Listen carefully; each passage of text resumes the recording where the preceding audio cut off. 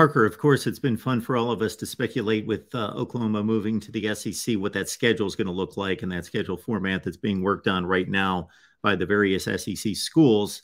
And we believe uh, may come out uh, during those Destin meetings in Florida at the end of May. Uh, I, I, think there's kind of two levels to it. There's that group of teams or that one or two teams for most programs that they they have to play, and then there's that group of teams that you know it makes sense. So when I look at you know, and I put together the entire deal for the SEC, and Oklahoma has to play Texas, of course. Then there's Arkansas. You can make a case for Arkansas. You can make a case for A and M. You've got Missouri. You can make a case uh, for that. Um, you know series that goes back to the Big 12 days. Where do you stand on Oklahoma's uh, permanent opponents? Well, to be honest, Mark, uh, to the best of my knowledge, for probably gosh six seven weeks now, and this kind of lines up with the report that blew up on social media from Ross Dellenger, Sports Illustrated. The best of my knowledge, it's looking like Florida is going to be one of Oklahoma's permanent, permanent opponents, which I love. Obviously, you got to play Texas, as you mentioned. Seems like Missouri is a safe bet to be another one of the permanent opponents. But if you got to pick a number three, man, I don't, I don't know if there's a school I'd rather have Oklahoma play year in and year out than Florida because I think those two programs have a lot of parallels. Uh, they obviously have some history. When you think back to the 2008 national championship game, Sam Bradford versus Tim Tebow, the Gators outpacing the Sooners in what was Oklahoma's most recent appearance in a national title game. And moreover, you got two of the great traditions, two of the great, uh, most storied organizations in college football in Oklahoma and Florida.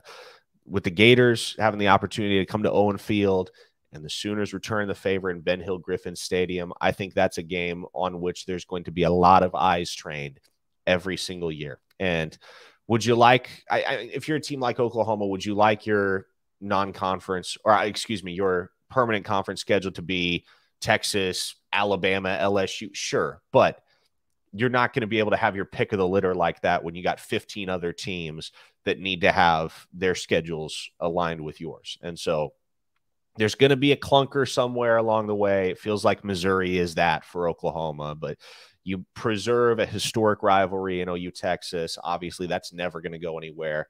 I think there really is the opportunity for a new rivalry to emerge between Oklahoma and Florida. And I'm super intrigued to see what that will look like 10, 15 years down the road as those programs get used to seeing each other every single season. Then I got to think, Parker, that there are portions of the fan base that are taking the other end of the spectrum to say the, the SEC is going to be difficult enough. Give us the easier games. We'll take Mizzou and Arkansas. Yeah, and I I wouldn't mind seeing Arkansas on the permanent schedule uh, if I were Oklahoma because – that fan base is ardent. Fayetteville is right up the road, about a three hour drive from Norman. And so I think that could be your replacement for the Oklahoma State rivalry, which kind of goes by the wayside with Oklahoma making that transition, right? So that could be your new bedlam, that series with Arkansas. But uh, if you have to sacrifice Arkansas on the altar, getting an annual matchup with Florida, again, I think that's a net win.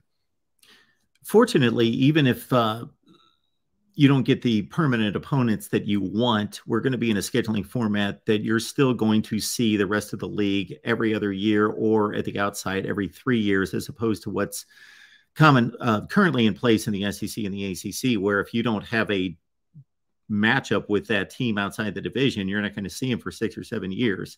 So at least that's going to be fixed. And if you don't get the permanent opponents you want uh, as a fan, you're still going to see those those teams frequently.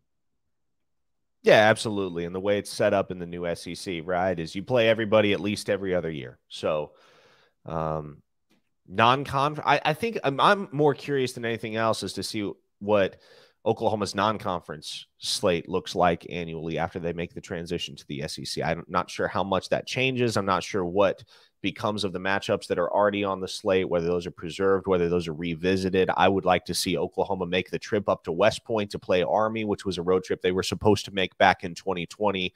Uh, but then obviously COVID 19 happened and threw a wrench in everything. So you're going to make the rounds in the SEC.